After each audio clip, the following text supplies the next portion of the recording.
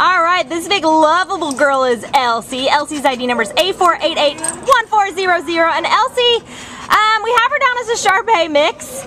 She definitely is a Baldwinese. She could be lots of different things that it's only your guess and ours on what she is. But whatever it is, she is pretty amazing. She is about six years old. She's came in as a stray on September 25th from Azusa. So she's been here quite a while. We would love to see her get a home. She weighs 44 pounds of love and she got a perfect score on her temp test because that's what an amazing girl she is.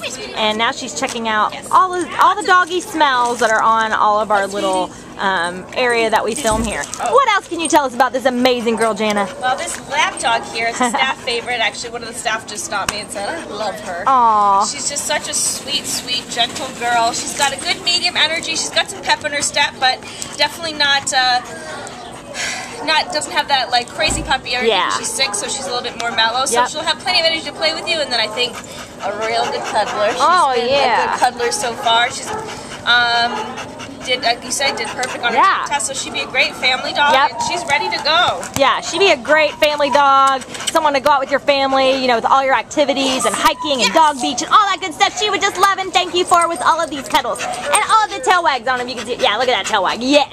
So come on down and meet the awesome Elsie today, the excellent Elsie at the Baldwin Park Shelter, and take this big lovable girl home with you. Yes, yes, yes, yes, yes. Bye, Elsie.